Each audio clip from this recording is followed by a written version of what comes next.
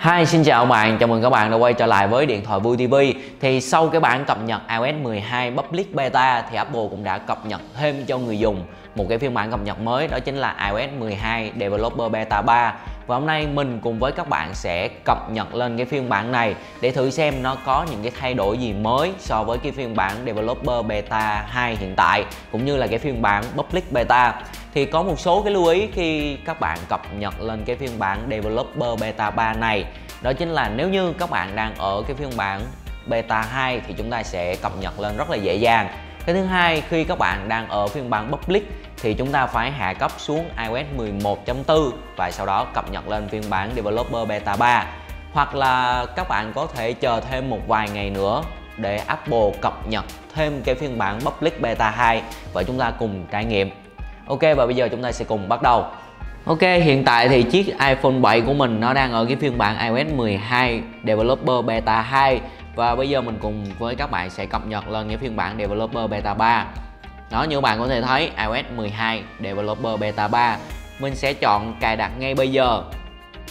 Nếu như bạn nào chưa biết cách cập nhật lên phiên bản iOS 12 Developer hay là cái phiên bản Public thì các bạn có thể xem lại những cái video cũ của mình mình làm về cái, làm như thế nào để chúng ta có thể cập nhật được phiên bản iOS 12 Public Beta cũng giống như là Developer Beta. Và mình sẽ để link ở chữ Y trên cùng góc bên phải để các bạn có thể tiện theo dõi. Ở chiếc máy mình thì nó đang được cập nhật rồi. Và chúng ta sẽ đợi một tí để cái bản cập nhật này hoàn thành. Hiện tại thì mình đã cập nhật lên cái phiên bản iOS 12 Developer Beta 3 rồi. Và chúng ta sẽ cùng trải nghiệm một số những cái tính năng mới ở trên cái phiên bản cập nhật này. Đầu tiên thì theo như cái thông tin mình được biết thì cái phần bản đồ thì được Apple làm mới lại và sẽ bắt đầu từ khu vực Mỹ là San Francisco. Đó. Thì ờ, mình hy vọng trong thời gian tới thì tất cả mọi nơi trên thế giới đều được Apple làm mới lại theo cái kiểu này.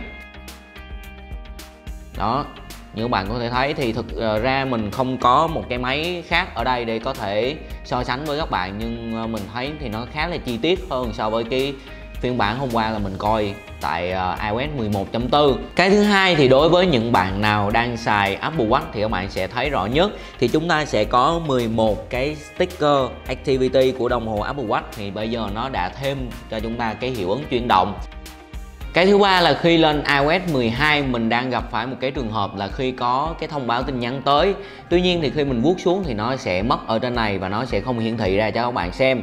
Thì mình chưa biết đây là một cái lỗi hay là một cái tính năng mới của Apple. Và mình thấy cái điều này thì nó cũng khá là bất tiện và mình phải truy cập vào ở trong cái uh, ứng dụng đó thì mới có thể xem được tin nhắn. Và đó là những cái cập nhật nhỏ nhỏ và mình thấy ở trên phiên bản iOS 12 Developer Beta và mình đã chia sẻ với các bạn. Ok, và như vậy mình cùng với các bạn vừa cập nhật lên phiên bản iOS 12 Developer Beta 3 và tìm hiểu những cái thay đổi mới trên cái phiên bản cập nhật này. Thì đối với phiên bản iOS 12 Developer Beta 3 thì Apple sẽ chú trọng vào việc cải thiện hiệu năng cũng như là cải thiện về pin cho các cái thiết bị iOS. Và chúc các bạn có một cái trải nghiệm mới trên cái phiên bản iOS 12 Developer Beta này. Và cũng đừng quên nhấn like, share và subscribe kênh Điện thoại Vui TV để ủng hộ bọn mình nhé. Ngoài giờ thì xin chào và hẹn gặp lại